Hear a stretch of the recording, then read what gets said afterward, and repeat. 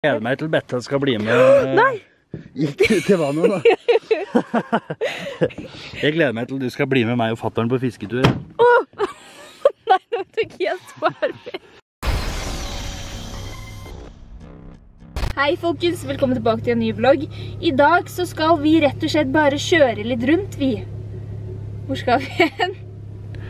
Nei, du påstår du driver og maser om at vi skal vlogge, da. Så da får jeg vise deg Løten sentrum og stranda på Løten som heter Håbekvika. Ja, det, det som ikke vet. For Hamar har du, du vært og sett på, har du ikke det? Hamar har jeg vært og sett på, men det har ikke for så vidt folka, men det går greit. Burde lage en vlogg fra Hamar òg, for det er mye finere i Hamar enn i Løten. Ja, ok. Se på det nydelige været som er i dag. I dag er det pent, ass.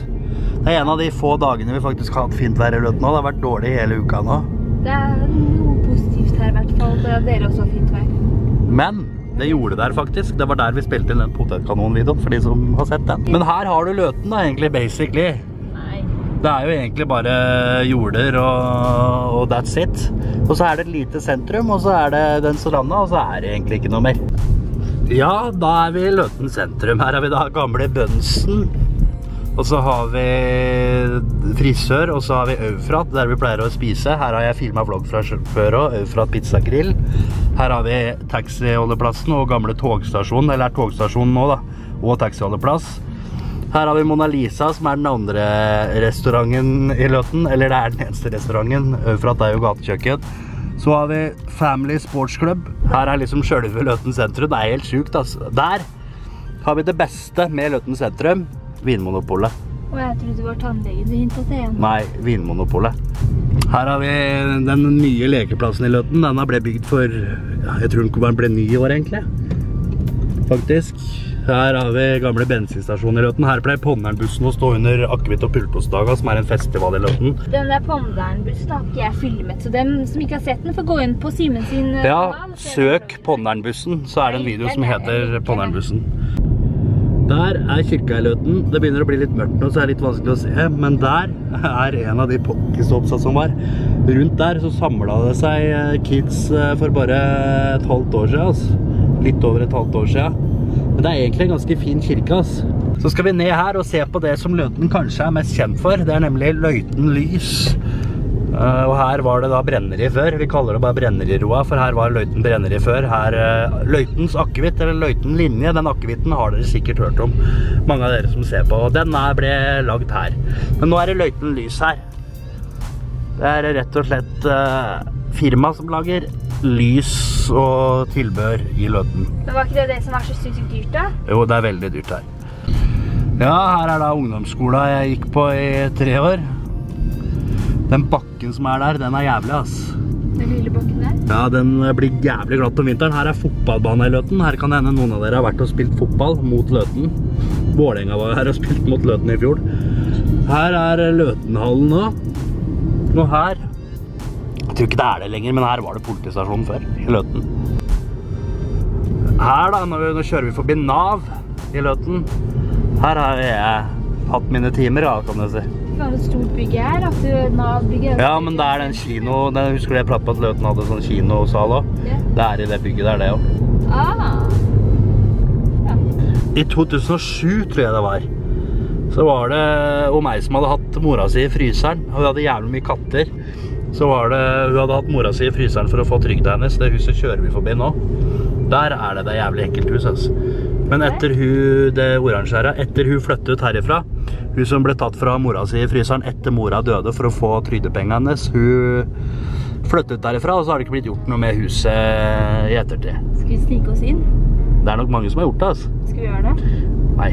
Nei, det lukter jo bare dritt, og det er jo ikke noe spesielt Ja, som men skjer da der. har vi video. Folk vil sikkert se det. Og her er joker nummer to, så nå har dere faen meg sett alt av butikker i Løten nå. Altså. Ikke sant, folkens? Hva da? Tommel opp, skriv det i Nei, jeg skal da ikke inn i det huset der. jeg. det Hun hadde sånn tolv katter eller noe som bare dreit, dreit rundt der. Nei, jeg skal ikke inn dit.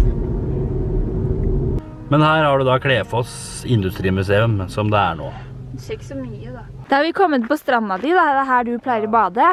Jeg bader aldri lenger, men det er her jeg pleier å drikke med vennene mine to ganger i året. Nakenbade om sommeren, si. Ja, Det er liksom sånn der skog-ish. Det er jo Løten sånn? da. Det er jo Du kan jo ikke regne med noe annet. Her har jeg faktisk aldri vært, folkens, så det er første gang jeg er her. Ja, det har jo ikke vært noe sånn særlig fint vær, egentlig. Så her er det noen benker, da. Det er, eh, og så er det strand og sånn der eh, stupebrett. Og borti der så er det volleyballbane og sånn handikap-bading. Og bortpå der kan du også fyre bål, da. På andre sida av stranda der er det sånn steiner til bål og sånn. Faen så mye mygg det er her. Det er jævlig mye mygg. Det er det. Av den lille sanddelen som er her, så blir det kalt strand, liksom. Nei, det er jo det her også som definerer at det er en strand. Hæ? Hva er det flaket der for noe?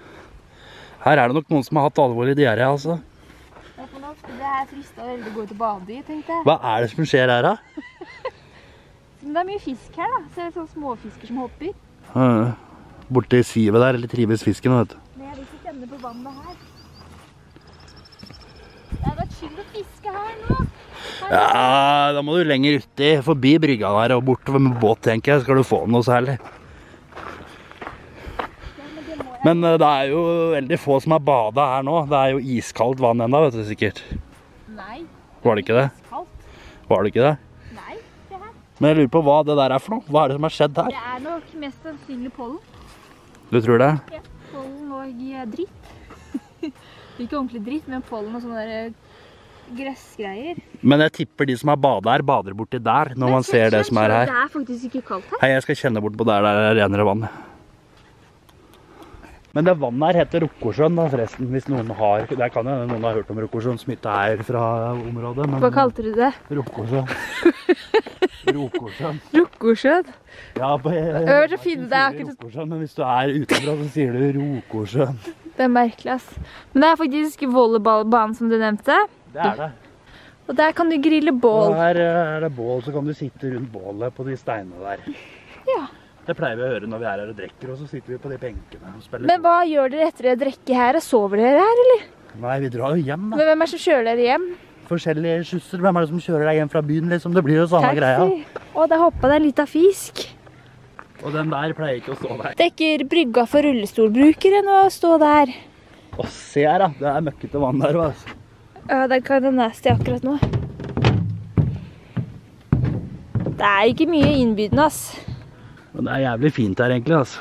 Det er koselig. Se, Det er det. nydelig. Hvem er det som eier den hytta der borte? Jeg blir etig opp av mygg nå, altså. Nei, jeg vet da faen jeg, hvem som eier det.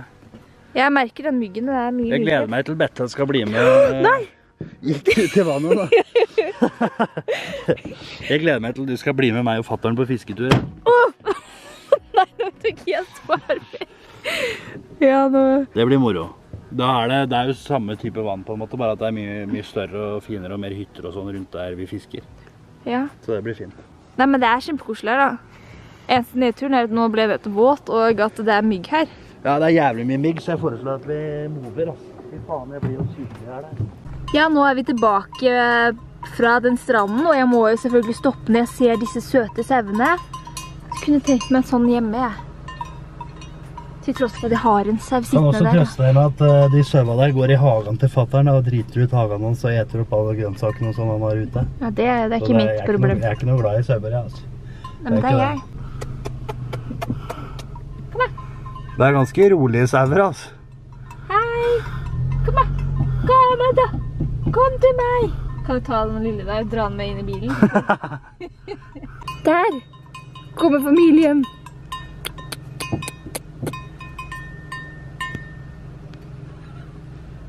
Ok, folkens, men da har vi jo sett litt rundt i Løten og hva Løten har å tilby.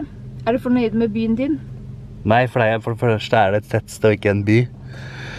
Og for det andre, så, som jeg sier hele tida, vi i Løten vi, videre har som regel til Elverum eller lamer, altså, hvis Ja, vi skal noe. Men dere får legge inn en tommel hvis dere syns det her var bra, så får dere sjekke ut Ponderen hvis ikke dere har gjort det. Og så snakkes vi igjen i en annen video om ikke altfor lenge. Ha det bra.